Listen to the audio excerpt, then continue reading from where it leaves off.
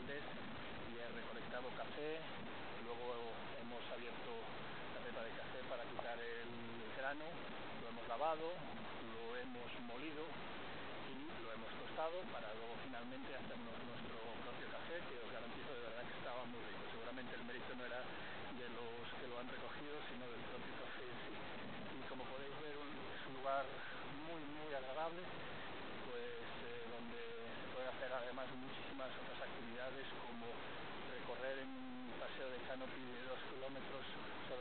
también visitar una granja interactiva. Y bueno, los, los alojamientos son muy variados.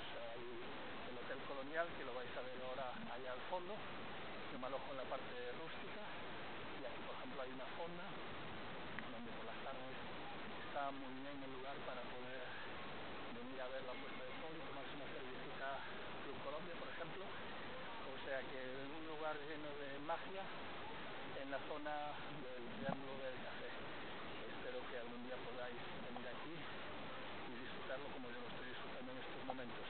Y os lo cuento todo a través del hashtag Colombia Madrid en Facebook, en Twitter,